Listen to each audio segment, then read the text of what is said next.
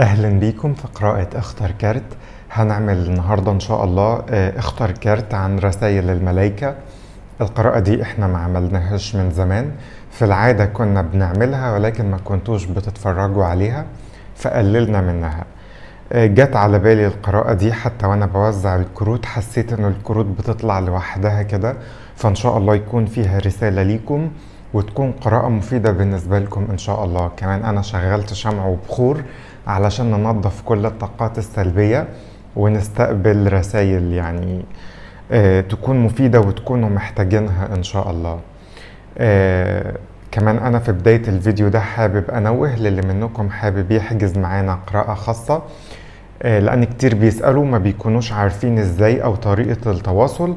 هتلاقوا رقم الواتساب في أسفل صندوق الوصف. تواصلوا مع الأدمن وهيوفيكم بكل التفاصيل إن شاء الله. معانا النهاردة ست مجموعات. آه كتير منكم المرة اللي فاتت قالوا لي إحنا مش عايزين أحجار بس حاول تدخل معاها أبراج أو حروف. فأنا برضو هسيب لكم حروف آه، في أول تعليق مع التوقيت. أول مجموعة آه معانا الحجر البني. آه تاني مجموعة الحجر الأخضر. آه تالت مجموعة الحجر العسلي المجموعة الرابعة الحجر الأزرق خامس مجموعة الحجر الشفاف والمجموعة الستة الحجر التايجر. فهنبتدي مع بعض. خليني أحط الكروت هنا بنفس ترتيبهم. ونبدأ آه، بأول مجموعة الناس اللي اختارت الحجر البني. خلينا نشوف إيه رسائل الملايكة ليكم. تمام.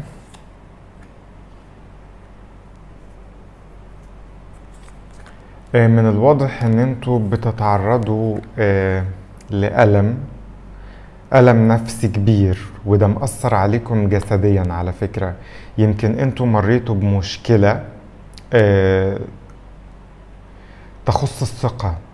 يعني اتهمتوا آه، بأشياء مش فيكم. آه، تعرضتوا للظلم بالظبط تعرضتوا للظلم واتهمتوا بحاجات مش فيكم. والآخرين يمكن قيموكم على عكس حقيقتكم. وفي مشكلة حصلت آه، أنتوا مش قادرين تنسوا المشكلة دي لغاية دلوقتي حتى لو من زمان حتى لو من الطفولة. المشكلة دي مأثرة عليكم حتى الآن إن أنتوا حاسين إن الآخرين ما بيثقوش فيكم وأنتوا كمان ما بتثقوش في الآخرين. فده بيسبب عندكم مشكلة في عدم تقييم الأمور أو الأشخاص بالشكل الصحيح. آه، دايما عندكم آه، ثقة يعني ثقة في نفسكم أو اعتقاد في نفسكم إن الآخرين دول هيؤذوكم. أو إن هم مش أشخاص آه، بيحبوكم. يعني حتى لو كانوا بيحبوكم عندكم معتقد إن أنتوا هتتأذوا آه، من الأشخاص الآخرين أو من الأشخاص اللي حواليكم.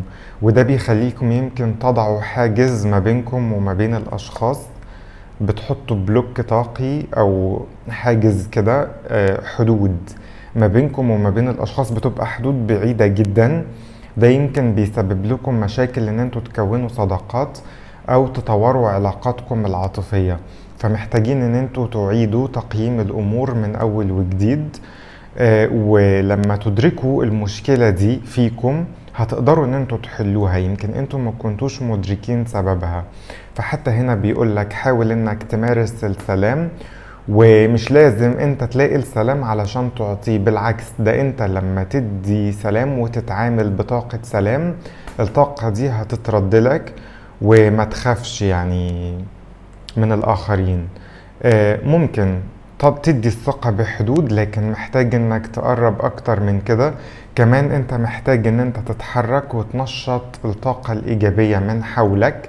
علشان الطاقة دي تترد لك. يعني انت غالبا واقف في حتة انه أنا خايف دي من زمان وما بتديش الثقة للآخرين ما بتتعاملش مع الآخرين وتعاملك معاهم بيكون في حدود.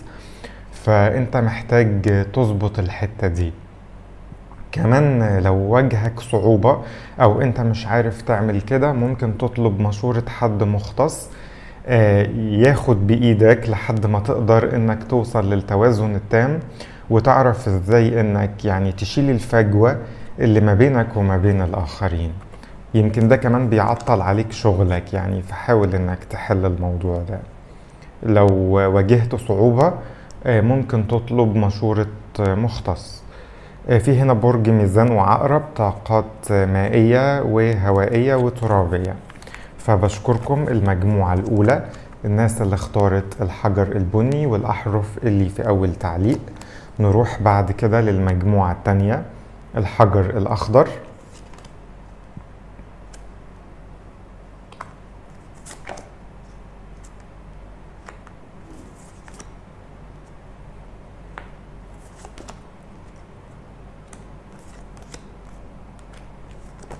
الناس اللي اختاروا المجموعة دي آه، أنتوا عندكم شغف تجاه شيء يخص آه، آه، عملكم. عندكم حلم بتسعوا لتحقيقه إن أنتوا مثلا يكون معاكم فلوس تحققوا نجاح معين تخسوا مثلا لو وزنكم زايد. في حلم معين من زمان أو حاجة أنتوا عندكم شغف إن أنتوا تحققوها وحلم بتتمنوا إن أنتوا توصلوا له من زمان ومستعجلين. يعني يمكن من زمان أنتم متأهبين لتحقيق هذا الحلم ولكن مش عارفين تحققوه إزاي. يمكن عندكم مثلا مشكلة مادية أو ايا كان فالكروت بتنصحك إن أنت تصبر شوية آه وتتأكد إن حلمك ده هيكون حقيقة.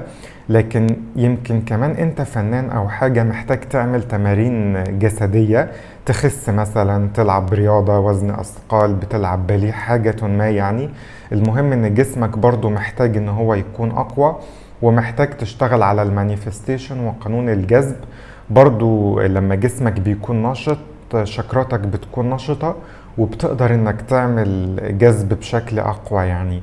فأنت محتاج إنك تسيبها على ربنا وتصبر شوية حرك جسمك اعمل تمارين سواء تمارين آه، رياضة أو تمارين قانون جذب. وتأكد إن أمنيتك إن شاء الله هتكون. ما تستعجلش على تحقيقها لكن تأكد إن ربنا هيحققها لك في الوقت المناسب. حاول بس إن أنت تعمل meditation كتير. meditation brings answer. وتحلم وملكش دعوة. احلامك دي هتتحقق إزاي؟ اصبر بس شوية وسيبها على ربنا. في نجاح كبير منتظرك لكن في الوقت اللي ربنا عايزه. فما تستعجلش. سوري ما تستعجلش. آه، محتاج إنك تصبر شوية. مفيش هنا على فكرة غير برج الميزان وطاقات نارية ترابية وهوائية.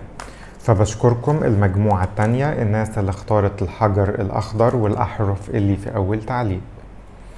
نروح بعد كده للناس اللي اختارت الحجر العسلي. أوكي.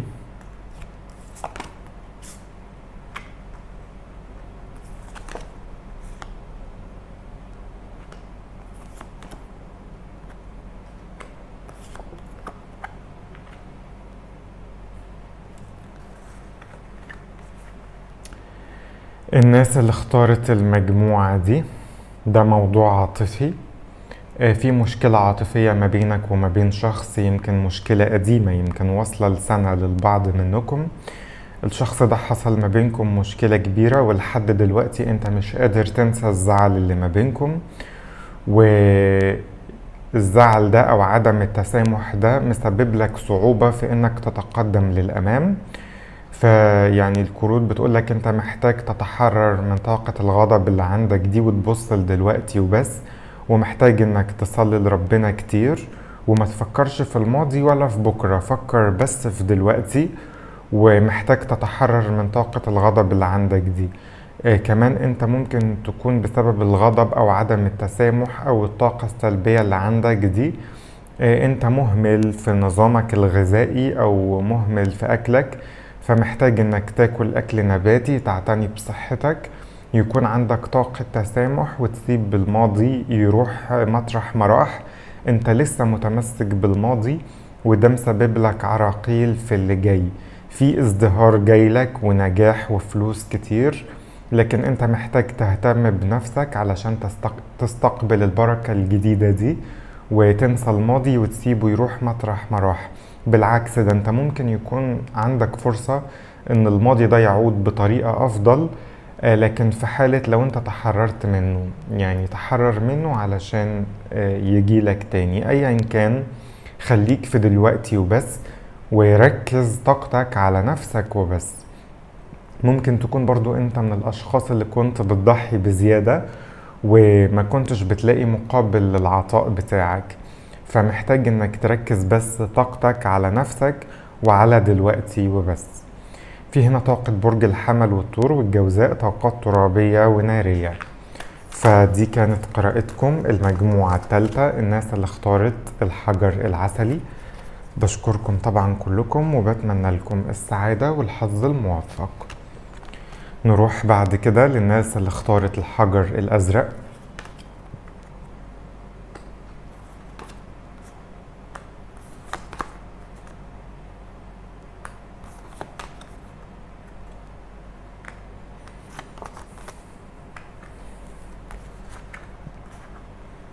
برضو ده موضوع عاطفي. ويمكن لأغلبكم كمان ده انفصال ما بين أزواج وفي ما بينهم أطفال. وإنت يعني شايف إن الشخص الآخر ما بيتحملش معاك المسؤولية وإن إنت اللي شايل المسؤولية لوحدك وإن, وإن إن إنت لك حقوق ومش عارف إن إنت تطلبها أو محرج إن إنت تطلبها.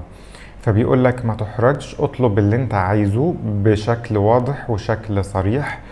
آه وانت ممكن تكون دلوقتي بتمر بظروف صعبة أو بظروف سيئة طاقتك منخفضة لكن دايما بعد كل انخفاض بيكون في انطلاقة جديدة وبعد كل تعب ومجهود انت بذلته بيكون في حصاد في النهاية. فما تحبطش ما تيأسش اطلب حقوقك ايا كانت إيه هي حتى لو في العمل. انت بذلت مجهود مثلا برضو لبعضكم في العمل وقطعت شوط كبير جدا لكن حاسس بالإحباط وحاسس إن مجهودك ما بيقدرش فطالب بحقوقك هتحصل عليها وانت قربت من النهاية وقربت من الحصاد فركز بس في دلوقتي استمد طاقة جديدة كمل بيها الجزء اللي فاضل في نجاح كبير منتظرك وهتوصل للي انت عايزه. فقط أطلب حقوقك بشكل صريح بدون تلميحات وبكل وضوح وهتقدر إنك تحصل على اللي أنت عايزه إن شاء الله. في هنا برج الحمل والميزان طاقات نارية كتير هوائية ومائية. فبشكركم الناس اللي اختارت الحجر الأزرق. نروح بعد كده للناس اللي اختارت الحجر الشفاف.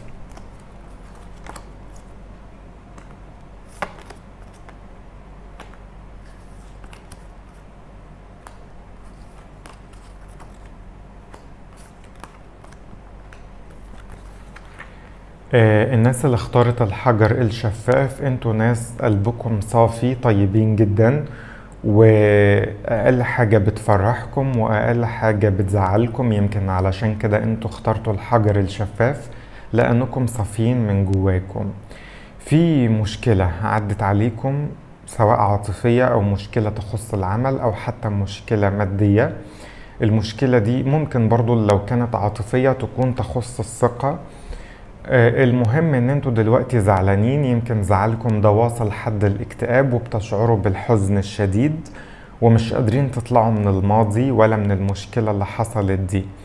بشوف في عندكم بدايات جديدة وفرص جديدة. يمكن أنتوا بتحاولوا كتير إن أنتوا تحصلوا على فرصة جديدة تتحكموا في غضبكم لكن مش عارفين وحاسين إن كل حاجة واقفة.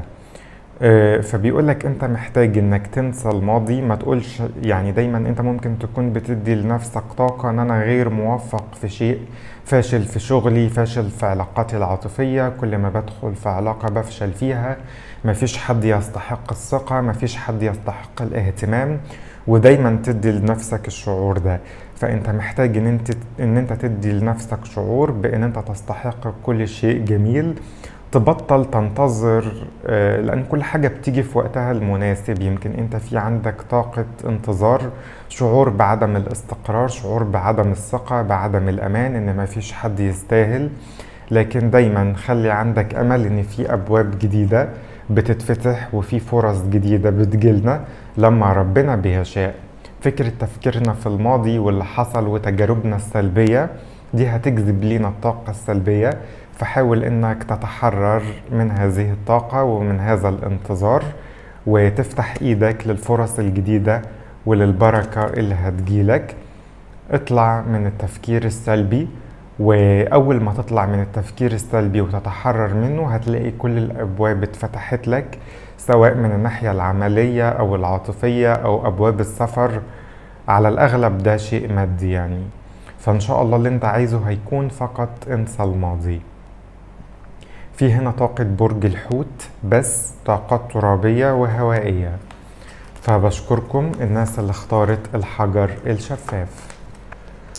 نروح بعد كده للناس اللي اختارت الحجر التايجر.